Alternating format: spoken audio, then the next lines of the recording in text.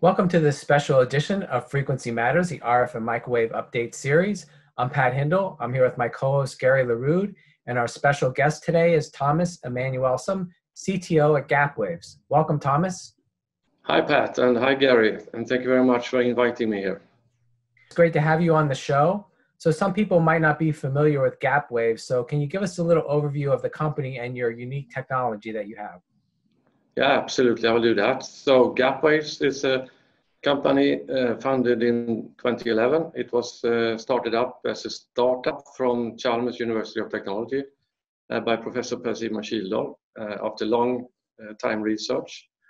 Uh, we were introduced to the Nasdaq First North in end 2016 and brought up the company from there. We are today approximately 30 people doing microwave and millimeter wave design, especially in antennas. So tell us a little bit about the Gapwaves technology, the Gapwave waveguide, what problems it solves and what applications are well suited for it. Yeah, sure. Uh, so the Gap waveguides uh, technology is, uh, as I said, it, it's basically uh, long time research uh, based on uh, hard and soft surfaces, and it's a way of actually mitigating the problem of building waveguides connecting the waveguide walls to the waveguide lid. And uh, as anyone that has been doing uh, that as a, a, millimeter wave designer, you know the hassle of, of, connecting waveguide walls to the lid. And that is what you actually uh, avoid when doing using the uh, this what what we usually uh, daily call the pin structure.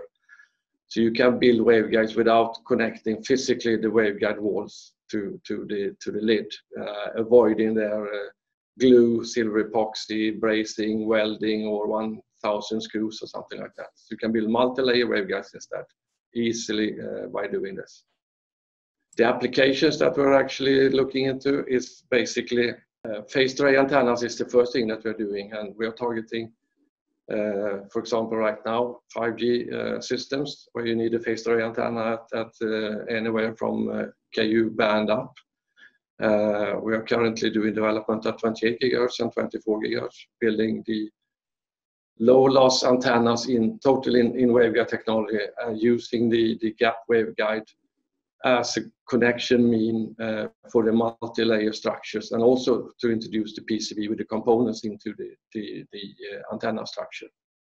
The other thing that we are doing is, is uh, automotive radar and in the light of uh, having uh, self-driving cars and so on, it's very essential to have a good sensor and going up in frequency to between 76 and 81 gigahertz is a very good way to use waveguides. You get rid of a lot of losses and can do a very efficient antenna in, in, that way. Typically for an automotive radar, you say that you double the, the target area that you're looking at and mm. you can play around with the, the waveguide uh, ports and the antenna to do different uh, pattern shaping and so on. It's a very efficient antenna. For the 5G, typical antenna has an efficiency of, the antenna as such has an efficiency of around 90%. Uh, compared to a PCB type antenna that is most likely around 50%. So the main challenges that you have in 5G millimeter wave is losing any kind of power. So your antenna is more efficient. How are you managing to integrate it into 5G millimeter wave systems? So what we're doing right now is building this complete phased array antenna module. It's integrated with the components. Uh, the gap waveguide technology also has a very good way of connecting the PCB to the to the antenna structure, uh, which is normally very difficult in a waveguide antenna. Uh, we do that again using the gap waveguide structure. Uh, we have full beam steering capability and up-down conversion inside the antenna. So there's an interface for controlling as well as IF and LO injection into the antenna. One of the uh, interesting things I've noticed is you do waveguide filters. Can you talk a little bit about the advantages of using the gap waveguide for filters? Yeah, so uh, actually several applications for doing that. So uh, specifically for the for the 5G antenna, we have as an option you can introduce a separate waveguide layer containing filters per antenna feed. So we can build waveguide very low loss filters into the antenna. Specifically, this is uh, we have been looking at several uh, different filters. but main target right now is this EESS band, uh, where we have a very narrow guard band from the lower N258 band that's 24.25 down to the ESS band, which is 24 gigahertz. And we can build a four-pole filter having zeros and so on to cut out the uh, injection of any spurious or noise into the ESS band. And that is particularly well suited for doing the waveguide, multi-layer waveguide structural uh, technology. And you also do some flange adapters. Talk about that. Yeah, so flange adapters is, is a specific way of using the technology. We uh, actually in our lab, we're using this frequently, uh, connecting anyone that has been doing connecting waveguide at uh, V or W band or E band knows the hassle with uh, all the screws, if you, especially if you want to do uh, multi measurements and you have, need to screw and unscrew and screw and unscrew. Uh, so what we can do instead is use of our uh, adapters, which is actually a small insert that you can have in between the, the waveguide flanges with pin structure.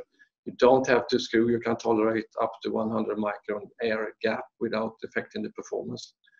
Uh, so you can easily have uh, volume production or volume lab measurements by just connecting the, the waveguide by, by hand or, or just let them be as, as, as they are. Yeah, you have a very interesting video that we'd like to show a short video of that technology right now. It's amazing the uh, uh, low loss that it has and how it also is able to adapt to any kind of bending, you know, to a certain extent and still maintain good connection. So let's take a look at that now.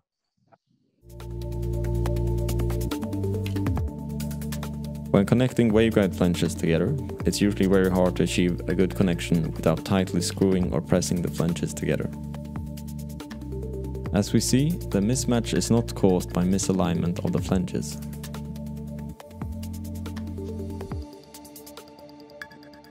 When we press the flanges tightly together, we achieve a good connection similar to the calibrated state.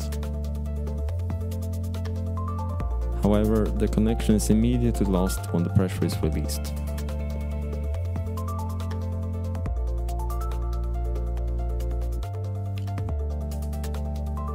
If we instead use Gapwaves flange adapter, we do not need to use any pressure to achieve a good connection. Here we place Gapwaves flange adapter directly on the guiding pins of the standard waveguide flange and then we gently push the flanges together. As we can see, we immediately achieve a good connection with good matching and low insertion loss. This means that we have a very low leakage. We now also show that we have a stable and robust connection that is minorly affected by mechanical misalignments. We can even handle minor air gaps between Gapwaves flange adapter and the standard waveguide flange.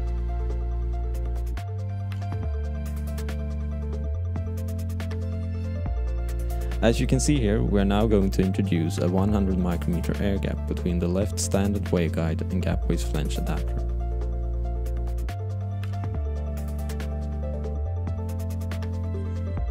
And even with this air gap, we still achieve very good matching and more importantly a very low insertion loss, which means that we have close to no leakage in this connection.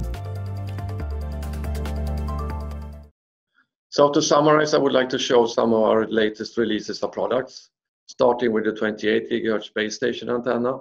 This one is doing 56 dBm of EIRP at 9 dB backed off conditions. And this comes to DC power consumption of below 40 watts. Next generation that is developing right now is, is uh, lowering the power consumptions to below 25 watts.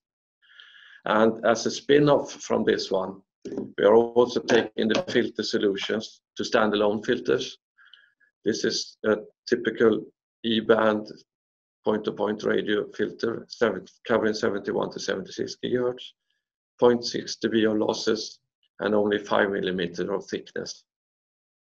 And for the higher frequencies like D band, we have targeting point-to-point uh, radio antennas covering 140 to 150 gigahertz. Uh, this one is a 24 dBi antenna and it also comes in a version with 32 dBi. Very thin, 6 millimeter of thickness. We want to thank you for uh, coming by today and explaining the uh, waveguide technology. It seems like you've got some very interesting applications on the cusp of going commercial, both in 5G and uh, automotive. So we wish you and the company well. Thank you very much.